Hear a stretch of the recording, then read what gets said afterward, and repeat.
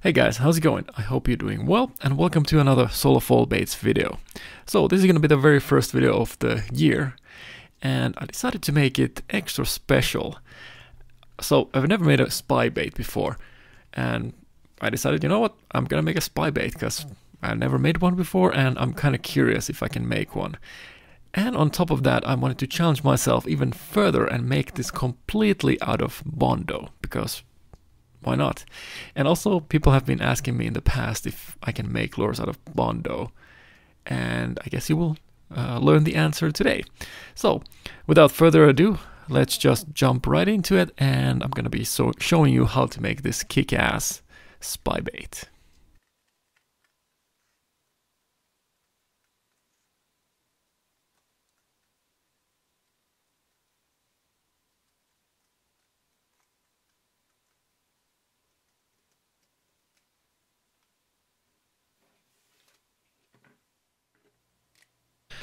As you might guess, making a lure out of Bondo is no easy feat, and the easiest way that I thought that I would be able to make one uh, successfully is to make a mold. So for that we're going to be needing a mold master, so that's what we're going to start off with. And I'm going to be using this uh, piece of maple here, because that's actually the preferred wood that I like to use for any kind of really small detailed carving because obviously I have to do carving because you know it's me and I can't do Allura without carving anymore or some other kind of high detail.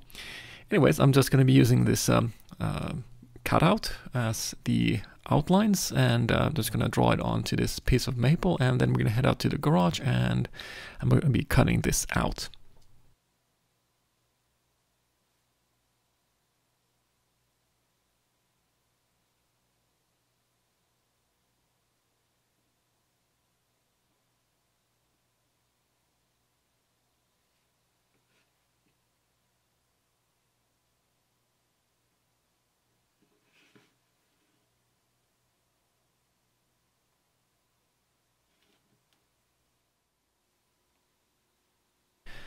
Before heading to the bandsaw and cutting this out, I'm going to be poking a pilot hole starter with an awl.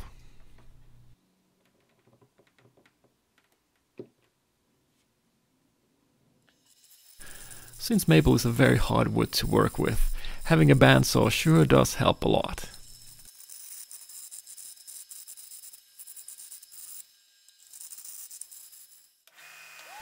Any roughness left behind by the bandsaw blade was uh, taken care of with a disc sander, like always.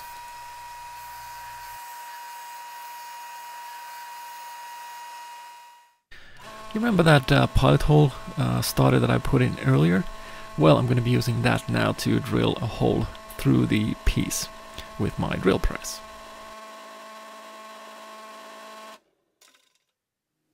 I'm going to start working on the upper profile soon, but before that, I'm going to mark the center line for this uh, particular lure.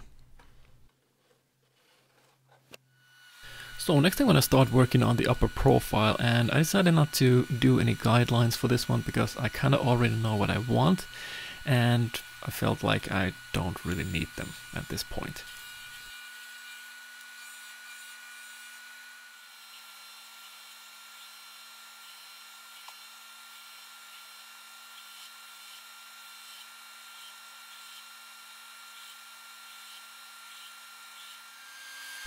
In order to save some time uh, with the shaping of the lure, I decided to put the table on my uh, disc sander into 45 degrees so I can hog off some material that way.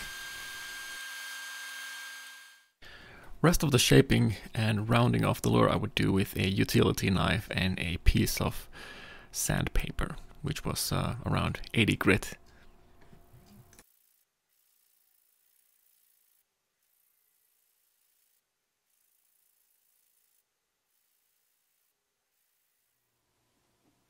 Alrighty, now that I have the lure in its final shape, I'm gonna drill out the eye sockets, which will help me align everything um, a little bit later on when I actually start carving the lure.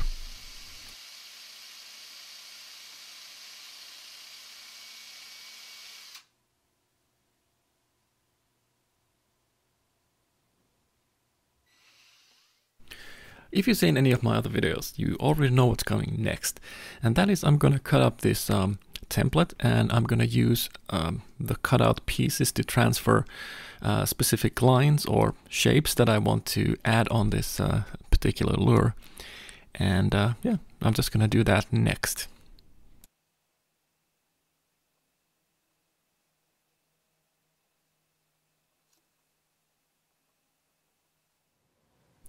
So I've now finished uh, drawing on all of the head details that I want to carve out.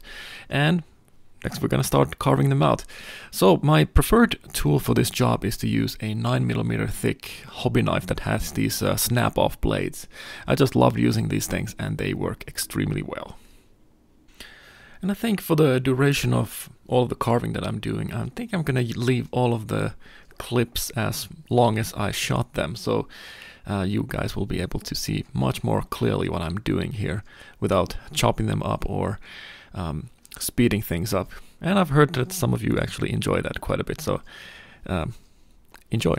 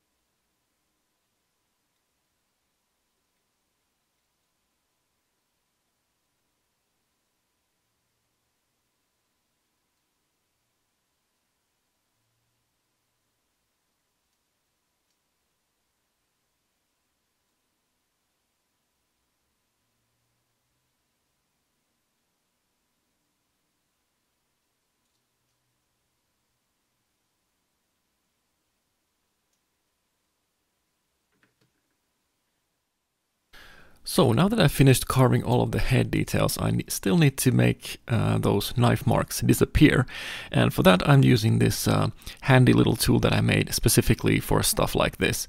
So it's basically a sanding block or sanding stick or whatever you want to call it. It basically just has a piece of sandpaper uh, glued in the tip of it.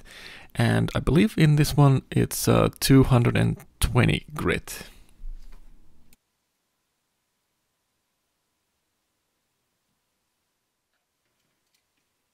I'm going to cut up this template even further and use that as a guide to draw the lateral line into the lure. Uh, because, to be honest, my hand has always been kind of shaky and I need all the help I can get.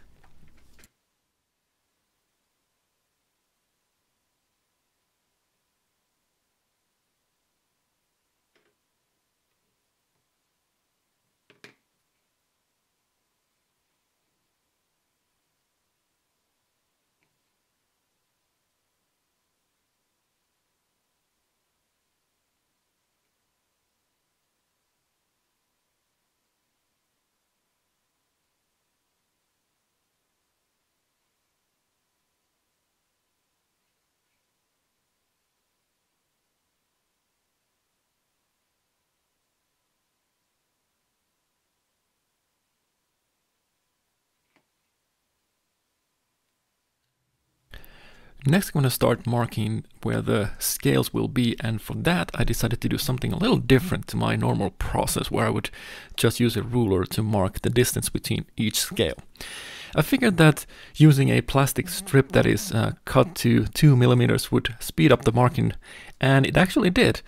I was able to speed through the marking in record time with great accuracy to boot.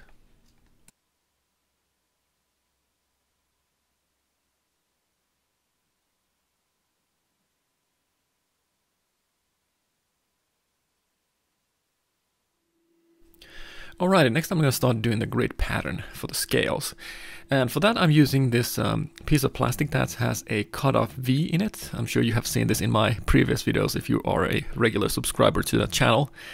If you're not, then you might want to consider becoming one. Wink wink, nudge nudge. Uh, but yeah, anyways, this is a really good tool to uh, make sure that all of the angles uh, are correct and uniform, if that makes sense.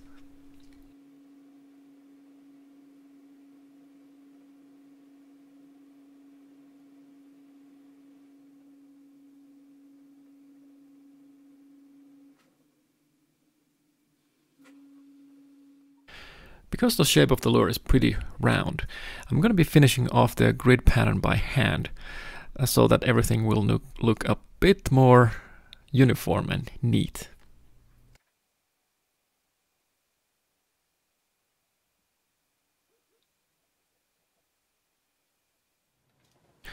Now that the grid pattern is done, I can start carving some scales.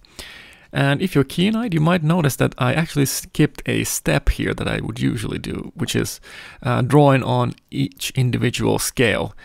And I think this actually worked out for my uh, favor this time around, even though I kind of threw caution in the wind and uh, decided to try something completely different and new. This definitely speeds up the process by a lot.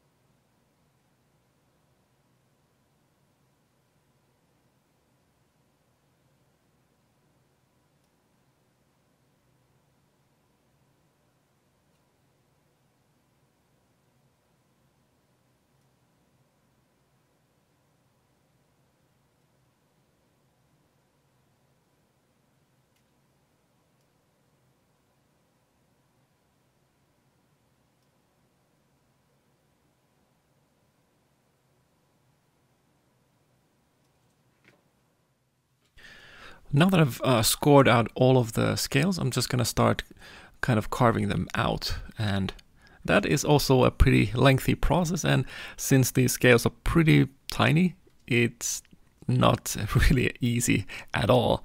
So I kind of had to take my time with this and uh, proceed with, with uh, extreme caution.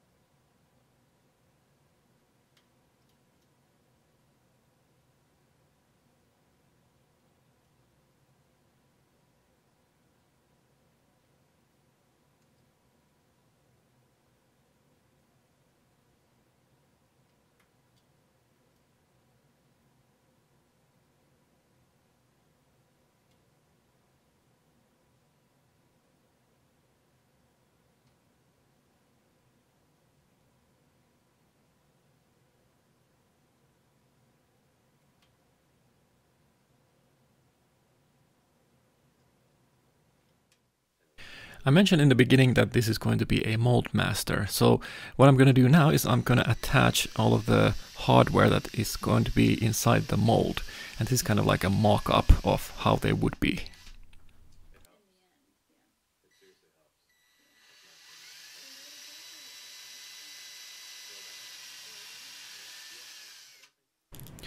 Now that I have all the holes uh, drilled out, I'm just going to insert the mock-up pieces of um, bent wire and glue them in with uh, super glue.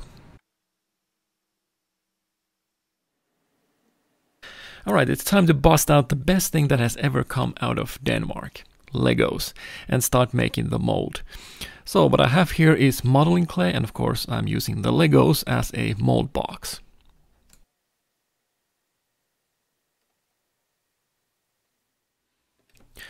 Now that I have smoothed out the modeling clay and it's nice and flat, I'm going to excavate a hole that is the size of the mold master and I'm just going to place my mold master halfway into that hole and that will be my first layer of uh, the mold because obviously this is going to be a two-piece mold.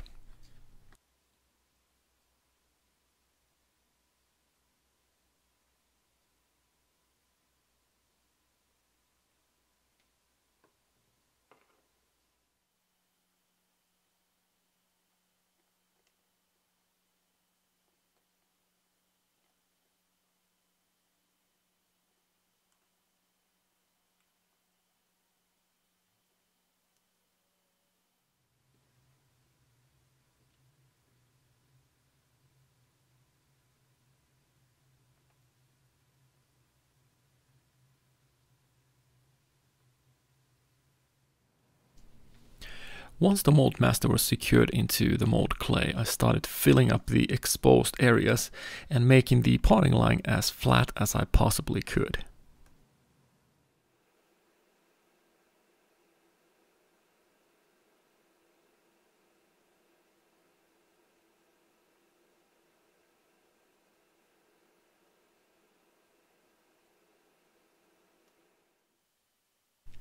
At this point, when everything was pretty much already done and ready to go, I decided, you know what, I think I'm going to use this for something else too, other than this particular project. And I want to add a pouring hole into it as well. So that's what I did next.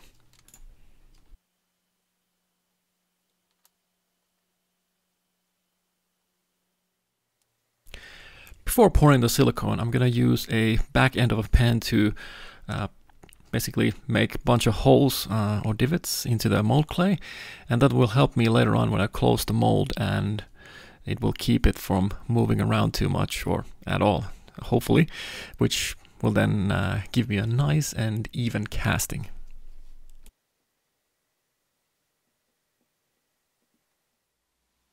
Alright, it's time to start pouring the mold silicone. And the mold silicone that I usually always end up using is uh, Mold Max 30. I've used it for several years now and I've never had any problems with it. It's really durable and um, yeah, I just like it a lot. One really big uh, convenient thing about Mold Max 30 in particular is that it's not one of those weird ratios where you have to calculate a lot and uh, I'm not very good at math. So it's really easy. Just let's say you pour a hundred grams, like I'm doing right now. You only need uh, 10 grams of accelerant to uh, make sure that it cures later on, which is really convenient for a math retard like me.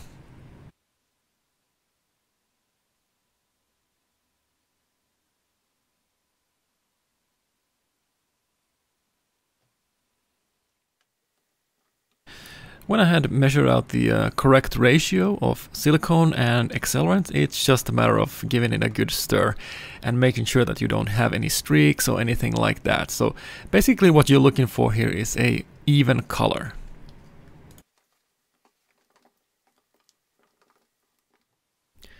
If you are a poor YouTuber like me who doesn't have money to buy a vacuum chamber to get rid of the bubbles in the silicone, you can just do this. So you can pour a thin layer of uh, silicone on top of your mold master, wait around maybe 10 minutes, and after that time has elapsed, all of the bubbles have burst and you will have kind of a protective skin of silicone on top of your mold master and you will get perfect castings every time.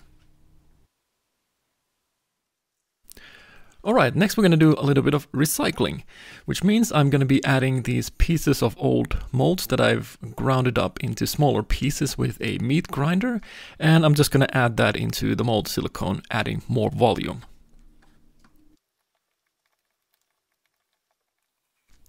Once I've mixed the old mold silicone with the new, I'm just going to dump that into the mold and that will make our first half of the mold. And as a side note, I think a good mix ratio between the two is probably around 50-50. Here I went a little bit over that, but it did end up working pretty well. But if you want to be on the safe side, 50-50 is a good way to go.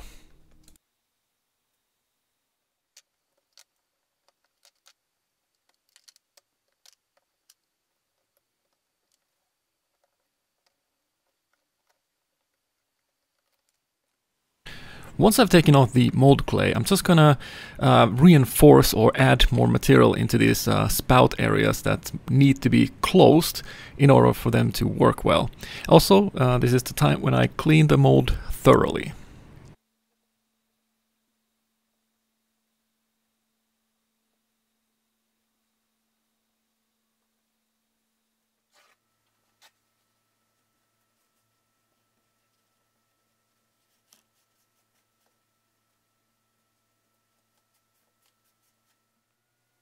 Alright, so now that I've cleaned up the uh, mold surfaces thoroughly, I'm just going to mess everything up again and use this Vaseline to smear it all over the place to act as my release agent because of course as you know silicone wants to stick to anything that's silicone so we definitely don't want that to happen. And this is a very economical and pretty efficient way to go about this as well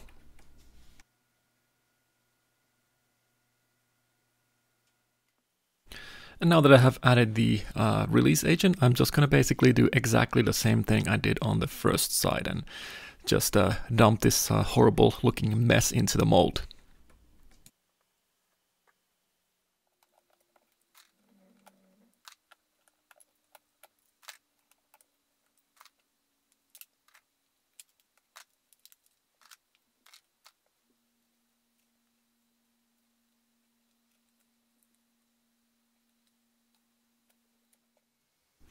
Right, so now that the mold is done, I can start making the lure itself. And in the beginning, uh, I had this idea of making a lure out of cement. And I did do several experiments on different molds before, and they worked, but for some unexplainable reason, I couldn't get it to work in this mold.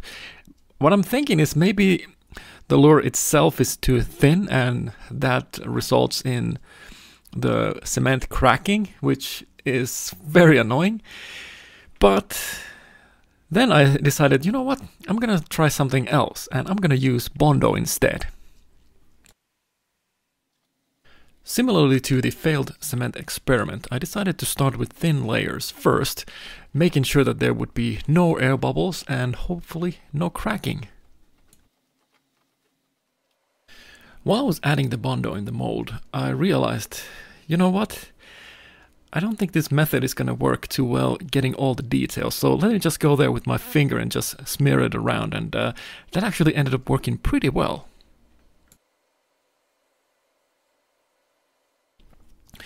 In the end, I ended up adding three layers of Bondo before stopping roughly 3 millimeters from the rim of the mold, which was plenty enough space to add weight and the internal wire harness before going slightly over that rim and squishing the two halves together, uh, thus making one solid casting. A bit crude, I admit, but it did work.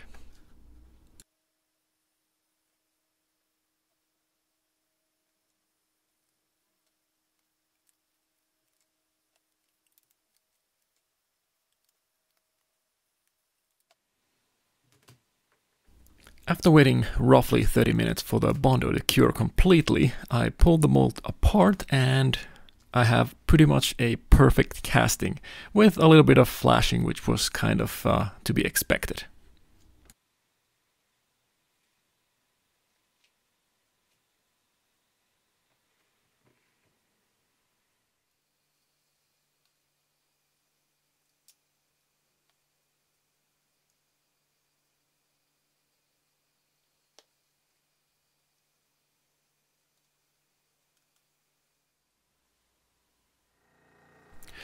After removing the flashing uh, from the casting, I then primed the lure and now it's time to paint it. And this time around I decided to make something completely different than I usually do, which is fairly often very natural colors, and this is not going to be natural in the slightest. I'm calling this one Unicorn Vomit. And I'm going to start with this Vallejo Moon Yellow, which is a really bright uh, type of yellow, which will work really well with uh, what I have in mind. So the next step is to add no color at all.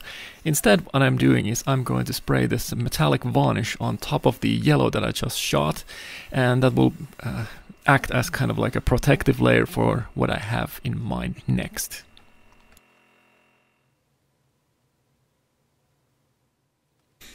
And now I'm going to use a wash technique, meaning I will shoot this cockpit green into the selected area that I want to be highlighted. And while the paint is still wet, I'm going to wipe it off with a damp paper towel, leaving the paint I just shot in the carved grooves.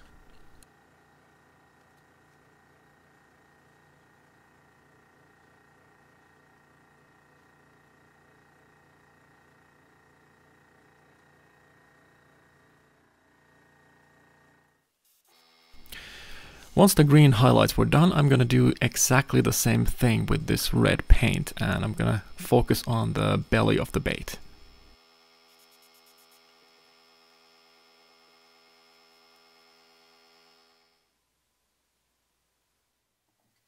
Orange is a pretty good shock color, so I decided that I wanted to add some of that in the belly as well.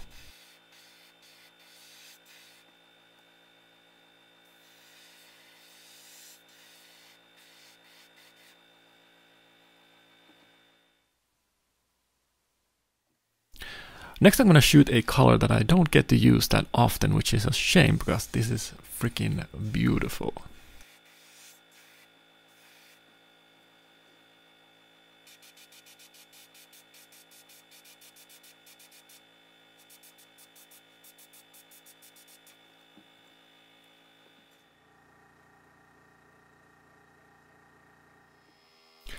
At this point I was looking at the lure and I was like, hmm, I think I need something on the cheeks.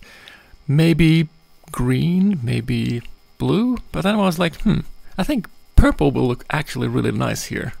So that's what I went with.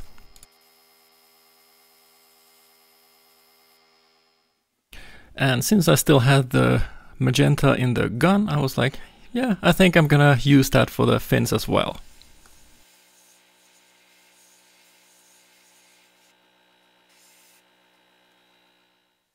Once the fin was done, I was like, hmm, I think I still need a little bit more purple in the lure as well, so might as well make a lateral line too.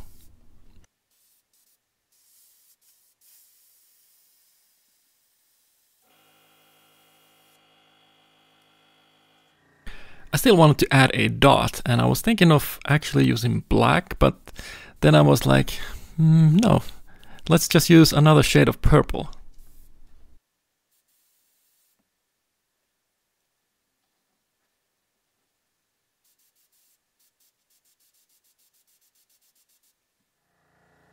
So now everything is pretty much finished and I just need to add the eyes and I'm gonna glue them in with 5 minute epoxy.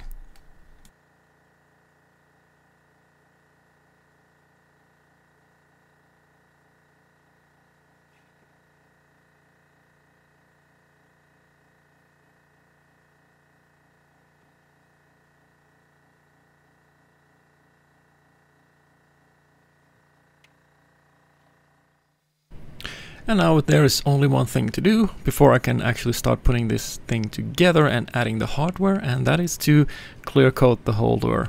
And I'm using True Coat Epoxy again. And I end up using uh, or putting on uh, four layers in total. Usually I would go with two, but uh, I had some weird uh, contamination on the surface, so I needed to kind of um, smooth everything out so that it would look a little bit more presentable.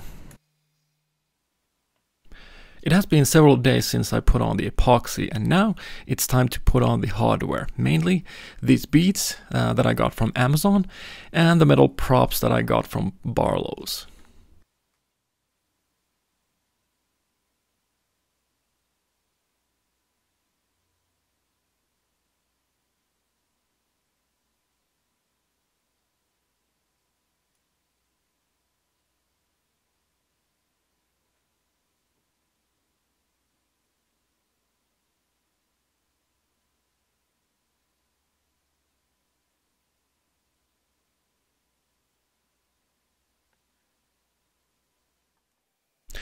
Once I got the hardware in, I'm now going to awkwardly make loops for the line tie and for the back hook hanger.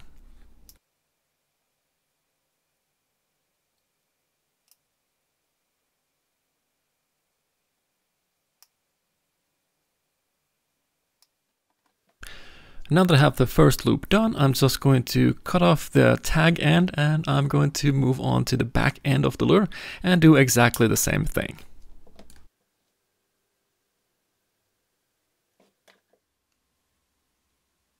Now I'm just going to add some hooks uh, that I selected. These are Gamakatsu's, uh, I think, number twos, if I'm not mistaken. I think they're number twos. Anyways, it doesn't really matter that much. Uh, but yeah, uh, next we're going to head out to the bathtub and check out the amazing action that these uh, props are going to make.